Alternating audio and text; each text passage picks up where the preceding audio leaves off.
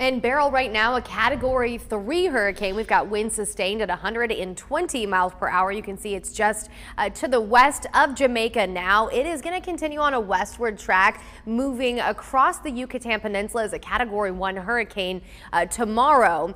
After that, it will emerge in the Gulf over the weekend, headed towards really the border of Mexico and Texas, where it could potentially re-strengthen into a category one hurricane just before landfall late in the weekend into early next week.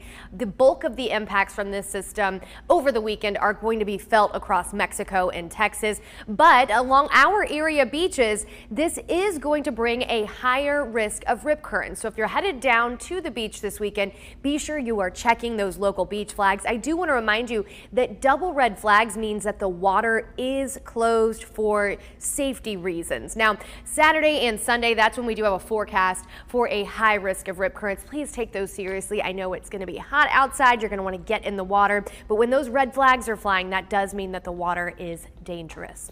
Close to home, we are calm and quiet to get you started this 4th of July. We've got temperatures that are a little bit muggy. We're in the 70s to get you out the door. Later today, if you are going to be out and about, going to feel just downright hot. We've got a heat advisory that covers almost all of central and north Alabama. That means heat index values could exceed 105 at times today, and there are some spots that could feel as hot as 108. A closer look at what we're going to feel like during the afternoon.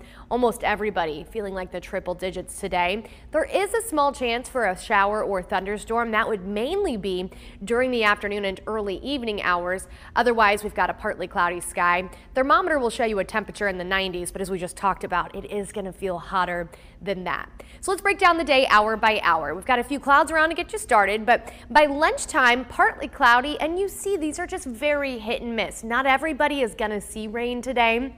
Same story through 3 p.m. And as we head into the evening hours, more of the same.